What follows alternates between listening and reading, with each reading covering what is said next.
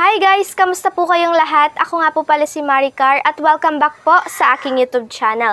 Dito po pala sa aking channel ay nagre-review ako ng mga legit earning application and website na maaari pong makatulong sa inyo para kumita po kayo ng extra income. So dito guys, ang kailangan nyo lamang pong gawin ay i-download ang mga application na ire-recommend ko po at pwedeng pwede nyo po itong gamitin gamit lamang po ang inyong cellphone and pwede nyo po itong i-cash out gamit ang inyong Gcash or PayPal account.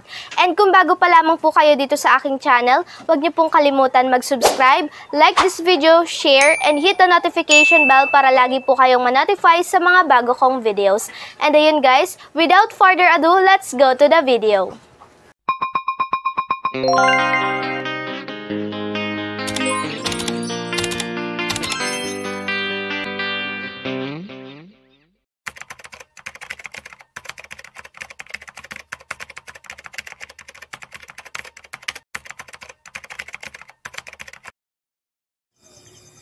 Hi guys! Welcome back po sa aking YouTube channel and for today po meron tayong panibagong review ng isang earning application.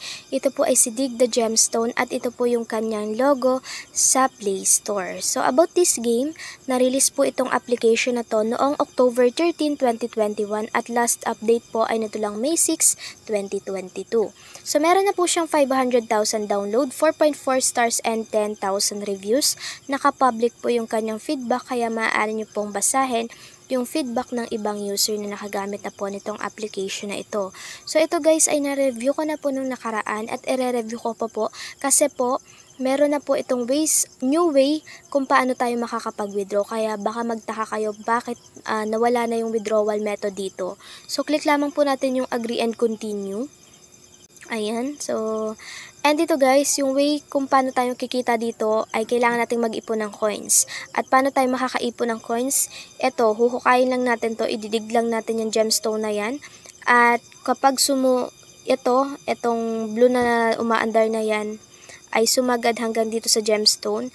Pwede po natin mabuksan yan at yung laman po ng gemstone na yan ay coins po. At yung coins po na yan ay pwede natin ma-convert into real cash. So another way para makaipon pa tayo ng mas malaking coins, click natin yung lucky draw. Dito guys kasi mabibigyan po din tayo ng coins dito. Kailangan lamang po natin na every spin ay kailangan manood ng advertisement na dapat nating tatapusin hanggang dulo. And dito guys, kailangan din po natin mag log in sa ating Facebook account bago tayo makapagsimula dito.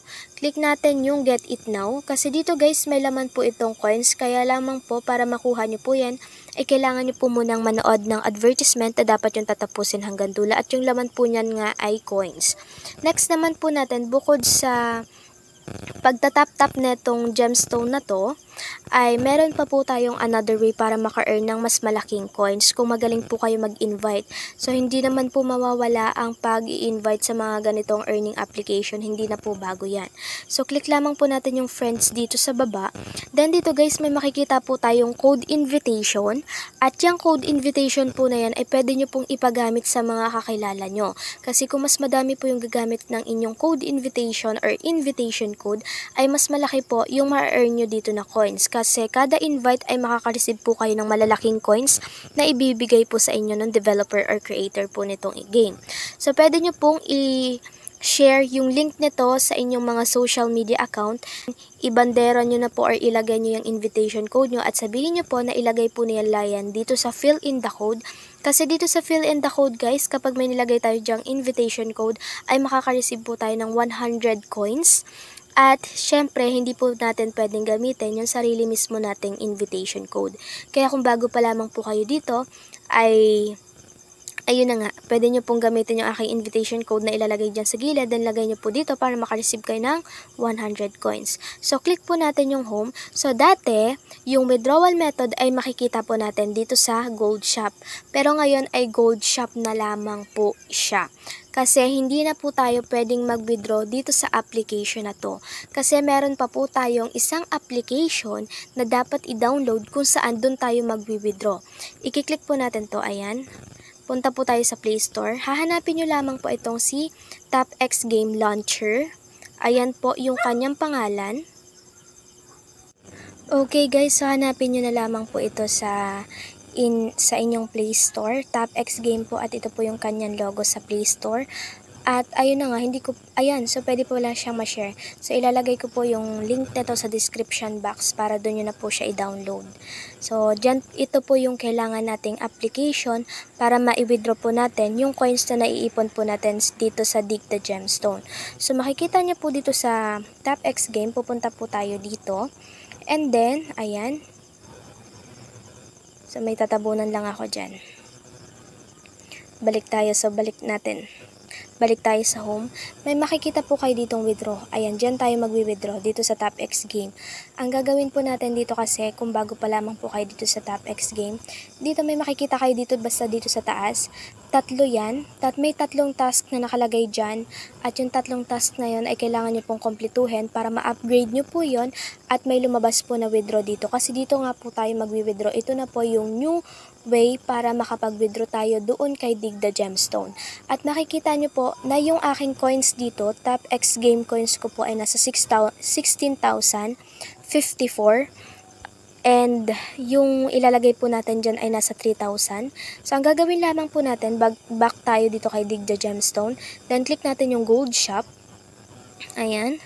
And then, may makikita po kayo dito, ayan. Ito yung pagpipilian natin na pwede natin ilagay doon.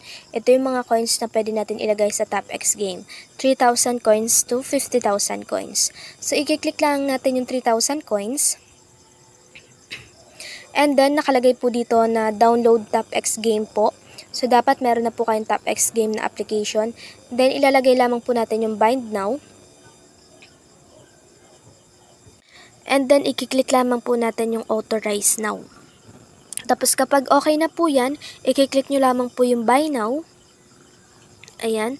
Tapos, dito guys, mawawala na po yung ating 3,000 coins dito. 272 coins na lamang po yung natira dyan. And, nandito na po yung ating coins dito na po yan papasok. So, wala pa siya.